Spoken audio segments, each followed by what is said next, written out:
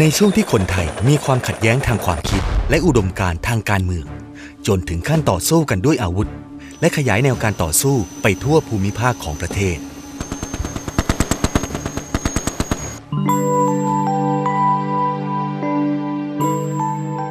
พระบาทสมเด็จพระเจ้าอยู่หัว ทรงมองว่าความขัดแย้งที่เกิดขึ้น ไม่ได้เป็นการต่อสู้กับคอมมิวนิสต์แต่เป็นการต่อสู้กับความยากจน จึงใช้ยุทธศาสตร์พัฒนามาเป็นเครื่องมือในการแก้ปัญหา ทรงพระราชทานทรัพย์ส่วนพระองค์ สร้างโรงเรียนร่มเกล้าแห่งแรกที่บ้านหนองแคนอำเภอนาแก่จังหวัดนครพนม ซึ่งเป็นพื้นที่ยุทธศาสตร์สำคัญของพรรคคอมมิวนิสต์แห่งประเทศไทย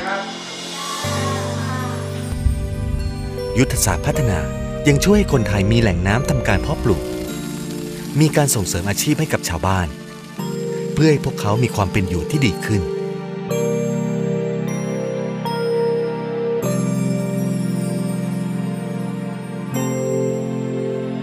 ทั้งยังมีพระราชดำรัสให้คนไทย อลุมอรวย ปรองดอง ให้อภัยซึ่งกันและกัน